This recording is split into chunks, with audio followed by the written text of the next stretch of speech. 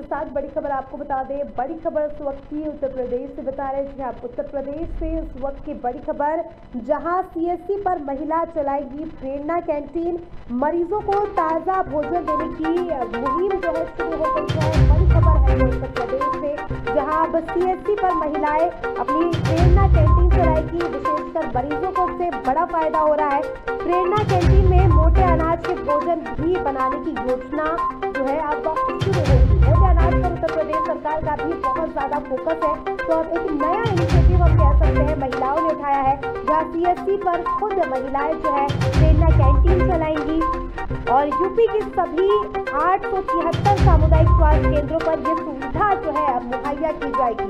राज्य ग्रामीण आजीविका मिशन के तहत इस कैंटीन का संचालन होगा और मरीजों को भी काफ़ी ज़्यादा यहाँ पर फ़ायदा मिलने वाला है, क्योंकि आप उन्हें अच्छा ताज़ा और जो है से भरपूर भोजन मरीजों को मिलेगा और लगभग आठ सौ तिहत्तर सामुदायिक स्वास्थ्य केंद्रों पर ये सुविधा मुहैया होगी।